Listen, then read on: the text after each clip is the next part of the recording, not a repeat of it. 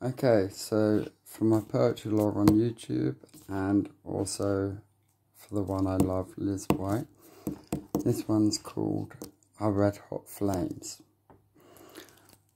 Your red hot flames spew and spiral around and about me with a thunderous and intense roar like a thousand tempests.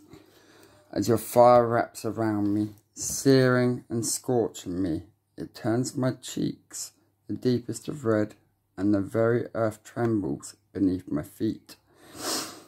As I force my way forward through to your red hot beauty that engulfs me every time we meet. See, I can handle it, not just with my chef like hands, but because my heat is also intense. It turns glass into sand. We both have that deep burning desire, our flames from our red hot existence, and how we set each other's hearts on fire. There's no need to douse them flames that flicker, as they'll be around till both our lives expire. Igniting our flames eternally, never will they burn out in darkness, retire.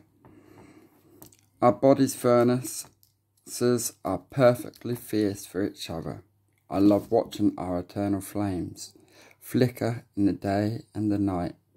Knowing our red hot simply will never tire. We'll never take plight, like the flight of a dove, through our flames at midnight. Your red hot touch sizzles, and I love your juicy neck bite.